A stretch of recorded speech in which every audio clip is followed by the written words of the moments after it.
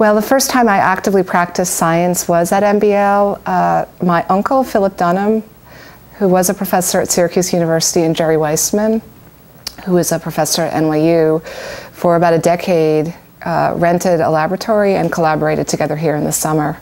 And so I came up here first in the summer of 1982 to function as the dishwasher. They needed someone to wash the dishes. Their laboratory, Whitman 206, now uh, Rowe 206. And that was the first time I really saw science in action, which you don't ever get to see. Um, no matter how great a school you go to in a K through 12 system, you don't really see science in action. And so that was the first glimpse of what I knew I wanted to be in, uh, in Rowe 206.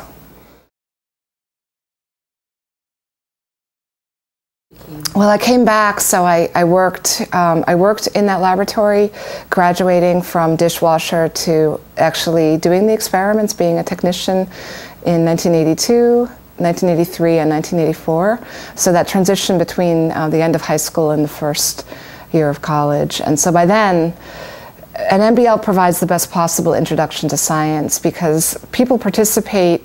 Uh, you can see uh, kids as young as uh, 15 participating in some way mm-hmm. Uh, through um, college students, through high school students, uh, graduate students, postdocs, and then when I was here, Albert Szent-Györgyi was still alive, so you would see many, many generations of, of humans um, actively practicing science at all levels in the most beautiful possible environment. So I thought, this is the life. You know, you can be active and intellectually engaged uh, from 15 to 100.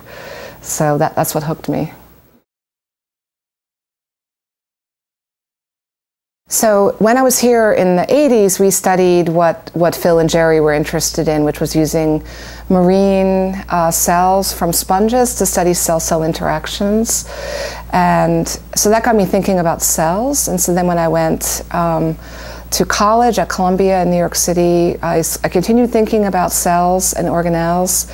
But then when I went to graduate school, I moved up from individual cells to the behavior of multicellular organisms. And so in graduate school at Rockefeller University, I worked with Mike Young. And Mike has done some of the really important work on what governs sleep patterns and rest activity patterns in flies. So I sort of switched from marine sponge cells to the behavior and the behavioral genetics of, of sleep and circadian rhythms in the fly. What I do today is, is a continuation of what I did as a postdoctoral fellow.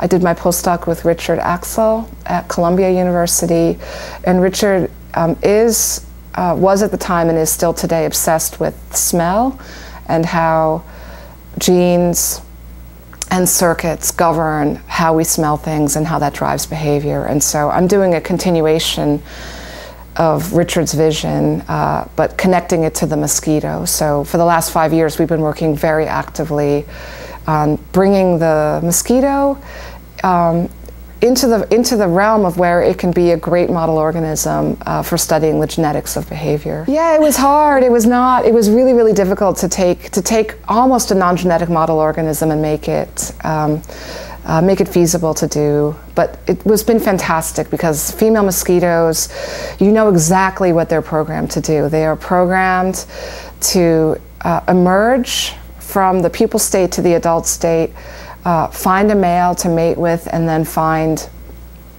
humans from which to obtain a blood meal. And so they're very focused and they behave really beautifully. So you, we understand exactly what they were born to do. And so it's very simple to observe them doing it. It was a little bit harder in flies to figure out when, when, a, when a fly, when Drosophila wakes up in the morning, what is it driven to do. I think the mosquito is a little bit closer to its its uh, its behavior, and it's really easy to uh, to measure it in the in the lab and, and manipulate it in the lab.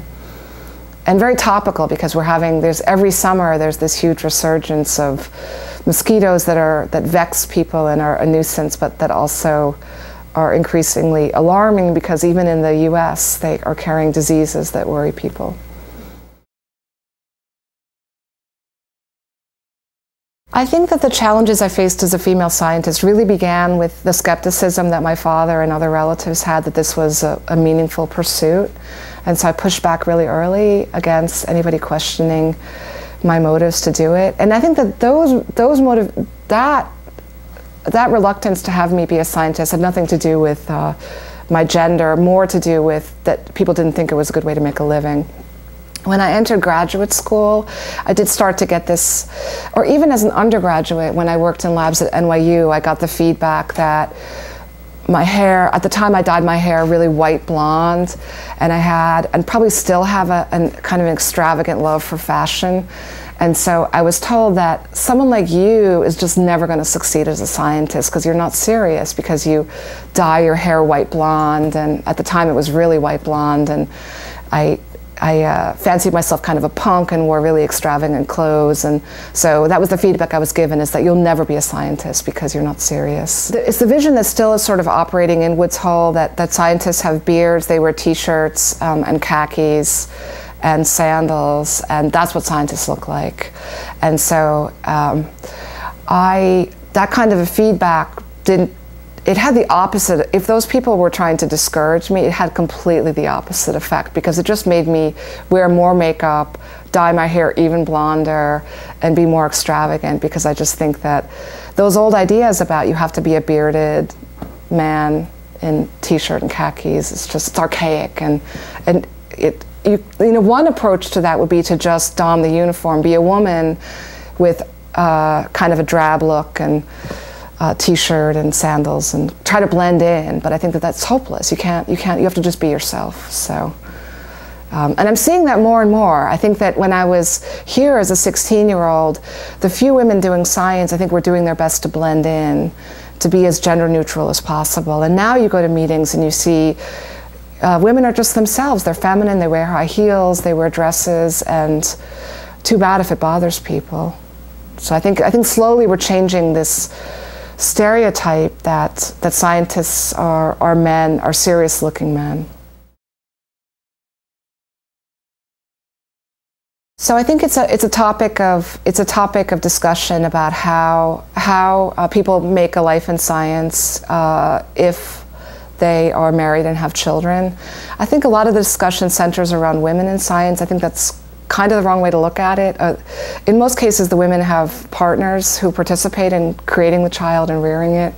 Um, so I, I like this new trend to not call it um, maternal care or maternal leave. It should be parental leave. There should be equal participation. We're all biologists. We realize that that the creation of the child requires equal participation from the man and the woman. Um, and I think that uh, in past generations, the successful women chose not to have children. I think that there was really strong societal pressure early in mid 20th century that if you were married or if you had children, that you were actively pushed out of science. And so it's really unfortunate that um, I guess Marie Curie is a notable example of someone who was incredibly successful and had children. Um, but a lot of biologists who came up in the 50s, 60s, and 70s ended up not having children. And I also am heartened to see that that's, it's an option now for women to have children and be married and it doesn't cut into your career. I think only in places where the institutions make it possible. And the, the ways to make it possible, the simple formula, you have to pay the women enough that they can afford babysitters and nannies and people to clean the house. You have to provide daycare ideally at the institution where it's on site, where you don't have to drive 20 miles to pick up your child. If the child is sick, you could just go downstairs and take the child to your office rather than having to drive 20 miles to daycare. And the third part is uh, having a partner that understands that science is a, it's not a 40 hour a week profession, it's, it's a 24 hour a day profession. You could be, I could be called on at any time, day or night, to deal with what's going on in my lab. And so I think having a, a, a spouse who understands the demands of the business is really important. I think science, originally I, I, I, came into science under these false pretenses. I thought, oh, in science you can, first I saw science here is, it's different in, in, in, a, in a academic institution. This, this place gets very full in the summer and people play tennis and go to the beach. I think that there's, there's, there's less of that in New York City at those, like, we don't go to the beach play tennis um, during the day. So, but, but what I thought was like if you're a scientist, you just get judged on your work and, and there's no politics involved at all, but that's completely wrong. So that I realized once I got into uh, college and graduate school, I realized that science is a very socially constructed business. And so the connections are extremely important and the connections that have allowed me to progress through my career are very important. So the mentors who help write letters for you, the other people who connect you to reagents and people are really important. And I, I work really hard on making a big social network of of people who are more senior than I am, and then also increasingly as I, I'm almost 50, I'm a tenured professor, so I work really hard on identifying uh, young people, both men and women, but I, I, do concentrate a lot on women, identifying the women who have, I see have the hunger in them to do this and try to pull them up um, and try to make things happen for them uh, at all levels. Because things don't happen. Being a great scientist is a really important component of it, but there are strings that can be pulled to make people progress more quickly than they normally would. So I put a lot of energy into that. You know, seeing someone who maybe isn't getting the recognition they should be and try to help them connected, get them connected to, to, to funding agencies, get them connected to the right editors, get them connected so they progress. MBL is this big uh, epicenter where people come, and so uh, there's a lot of great people who come here. And so I've met many young women uh, here through MBL, uh, people who've been students in the courses that I've taught or uh, I was here for the GRASS labs this summer, so I met some, some of the young GRASS fellows who I definitely have my eye on. I figure, like, well, I will try to help her get connected to something that will help accelerate her career. So, yeah, MBL is an incredible uh, place to connect the social network that gets, it, it's active, it's most active in the summer, but then it sort of explodes outward um, during the other times of the year.